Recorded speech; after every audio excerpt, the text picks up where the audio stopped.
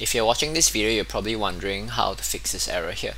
It's actually a pretty simple fix. Unity is just trying to tell you here that you have multiple copies of the same class. So in our case here, we have multiple copies of the player controller class.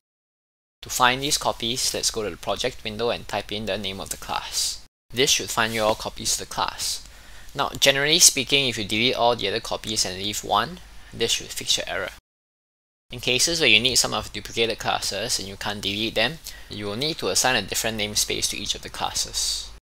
If you don't know how to assign namespaces to your classes, you can refer to our accompanying article for this video, either by clicking on the link above or by clicking on the link in the description below. Do note that if you add namespaces to your class, this will change the way your class is accessed from other scripts. So you have to update your other scripts accordingly. Again, more details in the article accompanying this video. Now, if you apply your namespaces to your classes correctly, this should also fix your errors. Now, there may also be a chance that you're getting these errors, but when you search for your classes on the project window, you just find one copy of the class.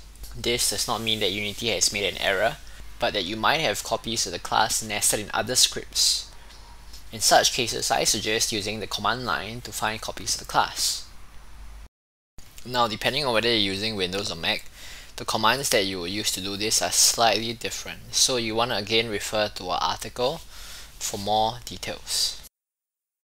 So once you find the script that's holding your nested class, again as usual you either head in there to delete the class or put it under a different namespace. And that's it for this video. So if this video helped you, we really appreciate it if you gave us a sub.